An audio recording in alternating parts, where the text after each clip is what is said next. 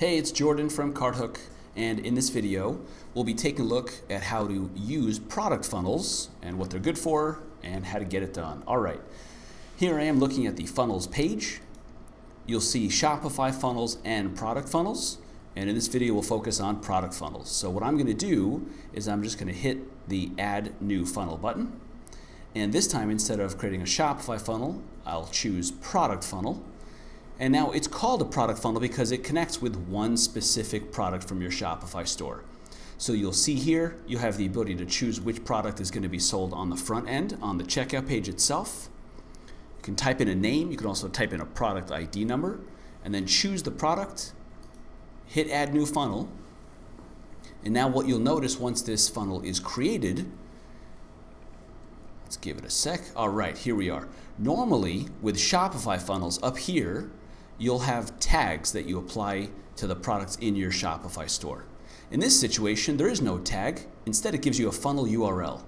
And the beauty of this URL is it's just like any other website, any other web page.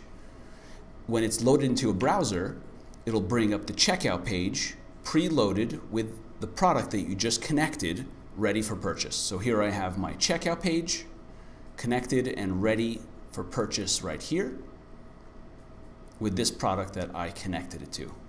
And now you can go about building this like any other funnel, adding upsells. Uh, one really important feature about product funnels is that you can customize every page and have it be specific for this funnel. So whereas in Shopify funnels, everybody goes through the same checkout page and thank you pages, this is different.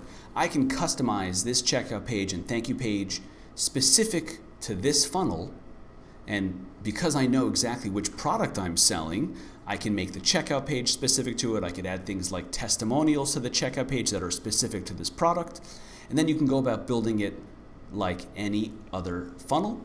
And when you're ready to connect someone, you just need this funnel URL. Most common use for product funnels is in a landing page where you can just take this URL and put it in the call to action in the button of your landing page, and that'll bring people over directly from the landing page skip over the cart and go right to the checkout purchase. And of course, the order will end up in your Shopify store like any other order.